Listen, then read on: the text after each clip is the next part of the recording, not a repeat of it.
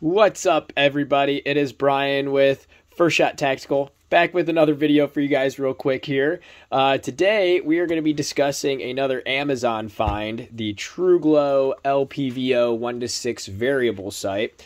Uh, we're just going to do a quick little what's in the box that comes with it, as well as a short little review. Um, I say short, this might be a little longer, but feel free to fast forward to what you need. So, First things first, uh, I'll put the link in the description for this optic that I got, uh, but it's the TRUGLO one. And let's go ahead and open it up. In the box, what comes with it is the actual optic, uh, the LPVO, with the mount as well.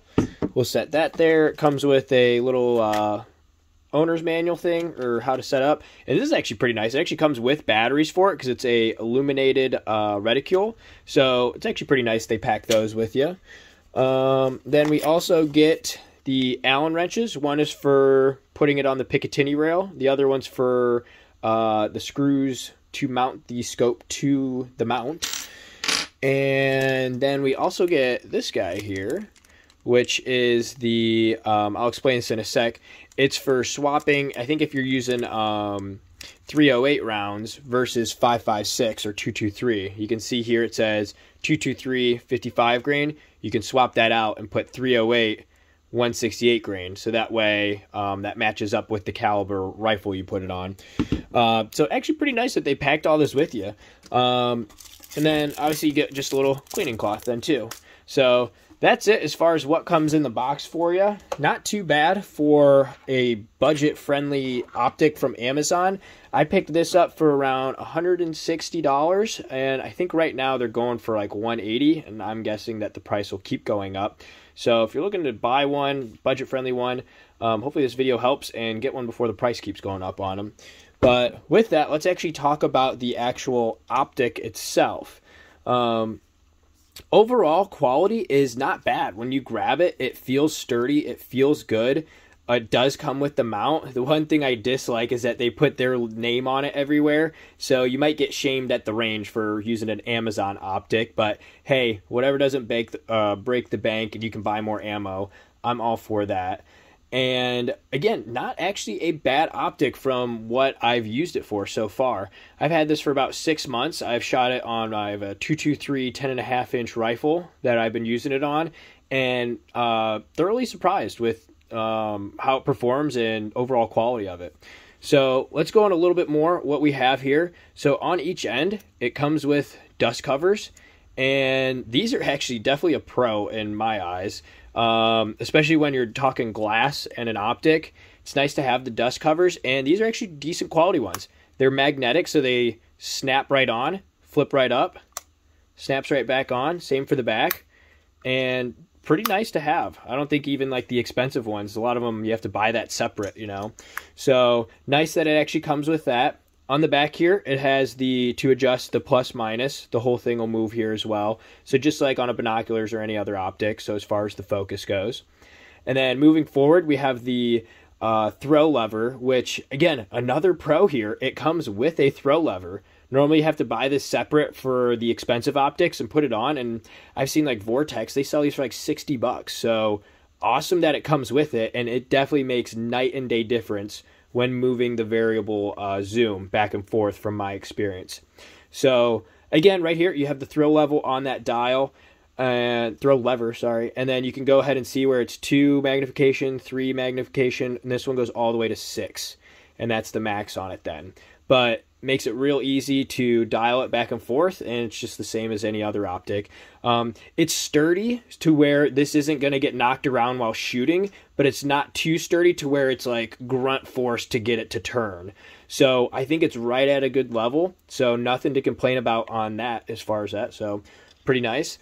Um, let's talk about the elevation and windage here now uh, as I already mentioned, it has the exchangeable caps for this. So if you're putting it on a 308 or a different rifle, you can use the other one that I showed. But obviously, I was using 223 and didn't mind too much uh, swapping it or trying to do that.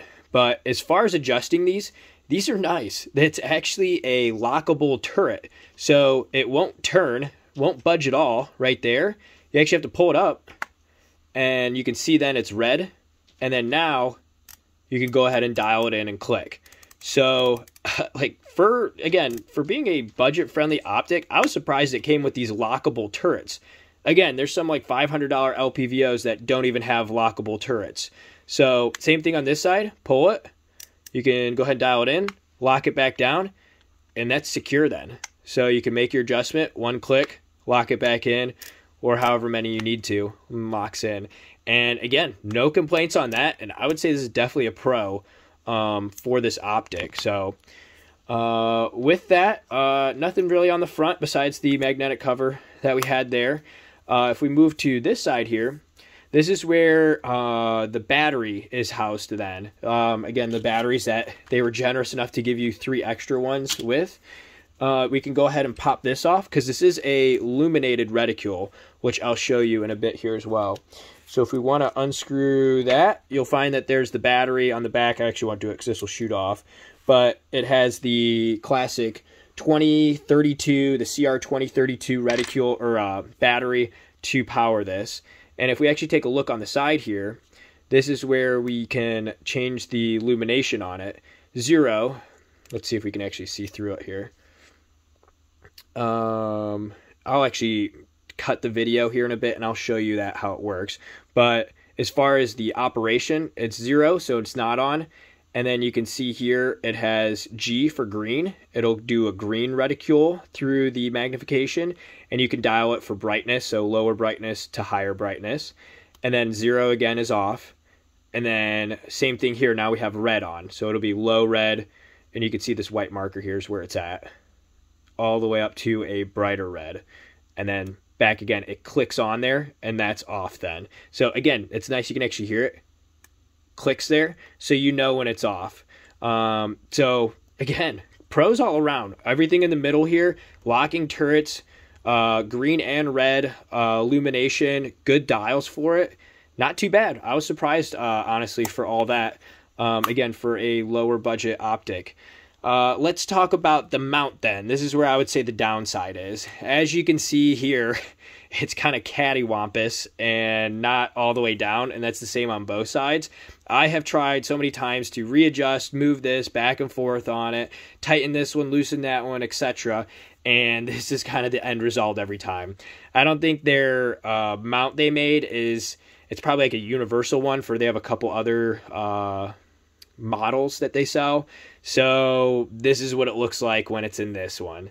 So I would say that'd be the one downside. But as far as going on the on the rail, it's pretty standard for Picatinny up top. Uh, goes on, screws on.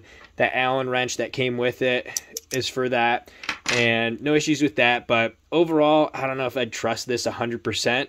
Um, again, as far as sturdiness, especially when you can see it looking like that, I'd rather have something more secure and clamped down on it because after you know hundreds of rounds, this could spin or get loose, um, and you might run into some issues down the road. So that'd be my one complaint so far is just on the mount there. But first impressions overall, uh, not too bad.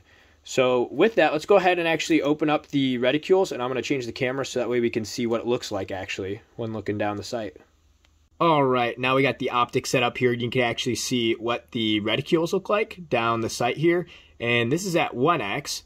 And when I got this out of the box, I had so much fun playing with this. This is actually like the coolest thing ever to zoom it in with the variable zoom.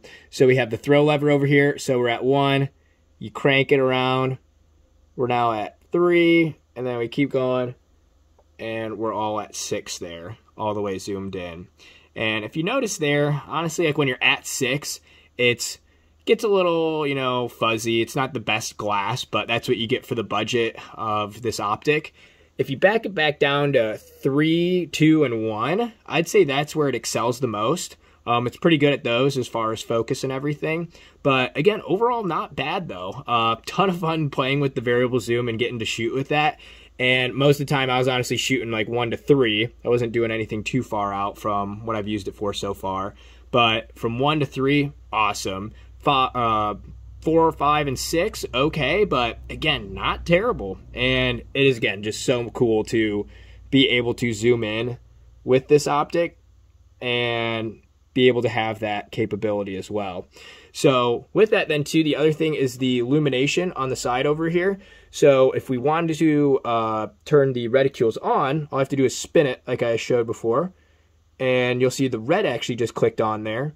And it might actually be kind of difficult to see. You'll see I turned it off back to black. And then now it's back to red. Off camera, it's a lot easier to see. I think it's more of a camera thing. And I prefer using the red on it. Um, if I spin it all the way around though, we'll see that it'll lower in brightness. I can keep it steady here. And then it'll actually turn all the way off. And then if we want to go ahead and activate to green, all I do is spin it and you can see the green there just clicked on. A lot easier to see. And then again, back off. And then now it's back on and that's the green. And that's what you get as far as the illuminated reticules.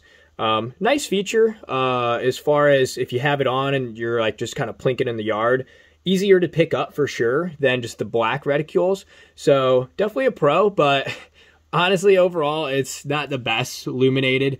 Um, on the bottom cross here, it's hard to see on camera. When you have it on red, the red actually shadows out over the black, so it's a little off.